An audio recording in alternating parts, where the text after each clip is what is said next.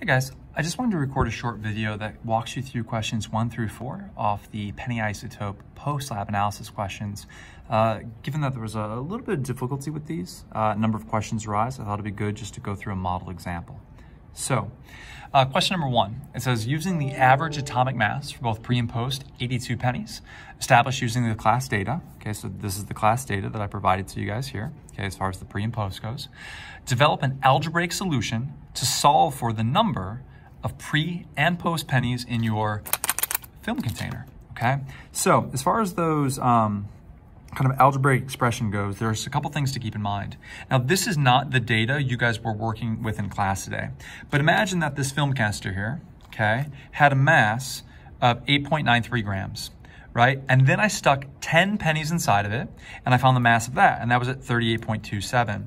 By simple subtraction, right, the difference between here tells me that the 10 pennies that I've added inside have a mass of 29.34.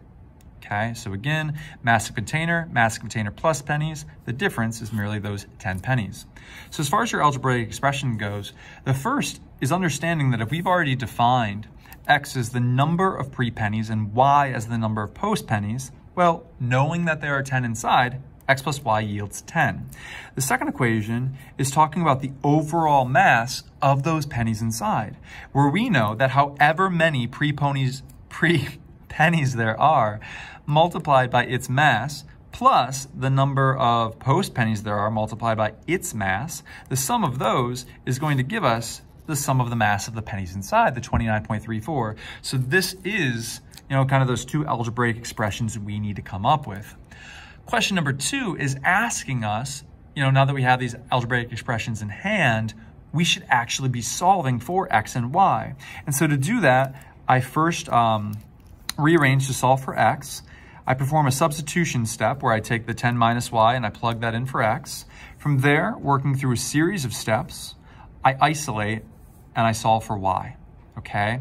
Now, once I have y in hand, recall that I have this equation here, you know, x equals 10 minus y. So I subtract that y value from 10, and I get my x value. So these are the two kind of values I have in hand.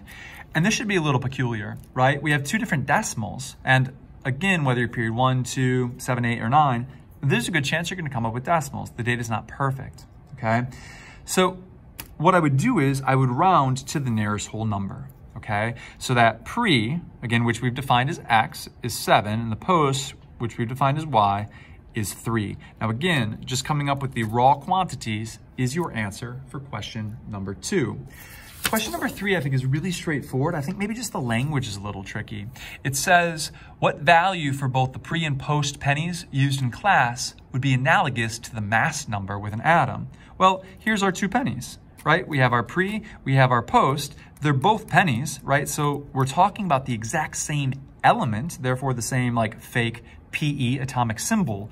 What differs is their mass number okay? So this is maybe how you'd represent that. But again, that's just the mass of your average pre-penny versus the mass of your average post-penny. Okay, so those are the values that are analogous to mass numbers should we been talking about atoms, right? So like a carbon 12, a carbon 13, a carbon 14, those are all mass numbers, all carbon, these are mass numbers, both pennies okay? For number four, given what we had already solved for in question number one, we identified of the 10 pennies inside of our film canister, seven were pre, three were post. This translates to 70% being pre, or 0.7 as a decimal, 30% post, or 0.3 in its decimal form. So now this essentially becomes plug and chug, right? We are being asked to solve for the overall atomic mass, right, for a penny, right? What is like that weighted average, taking into account the relative abundances of these, okay? So again, using my specific data for the sake of this example, I, um, I take that mass of the pre, multiply by 0.7, mass of the post, multiply by 0.3, and I arrive at the atomic mass, okay? So again, this is like your like representative mass for pennies, not considering pre or post, just pennies.